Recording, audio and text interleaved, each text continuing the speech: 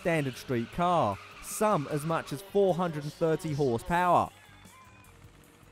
In Thailand, scores of farmers rely on their Iron Buffalo, the long handled, multi purpose tractors which are used for everything from ploughing fields to carrying heavy produce, or even as engines for water pumps and rice mills. Now, Thai farmers are paying tribute to their hard working machinery through a more light-hearted pursuit Iron Buffalo drag racing. Racing through knockout rounds down a straight 200 metre track at around 65 kilometres per hour, the farmers are competing for a $125 top prize.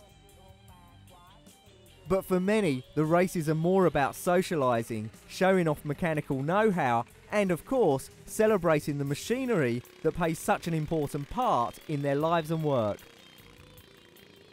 The Iron Buffalo tractor first started being used in Thailand in the 1960s, having been introduced by a member of the royal family well known for his agricultural inventions.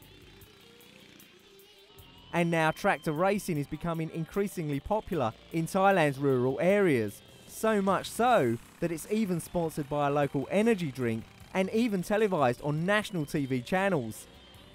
Important races have been known to attract thousands of spectators who crowd in to drink, cheer, and place bets on impressive looking modified machines. The races are divided into two classes. In the standard class, tractor engines must be left as normal and they must pull 250 kilograms of weight on a trailer. But the real attention is on the open class, where competitors can modify their engines, balance precariously on tiny trailers, and race at top speeds. It's here that the real trackside money can be made and glory won.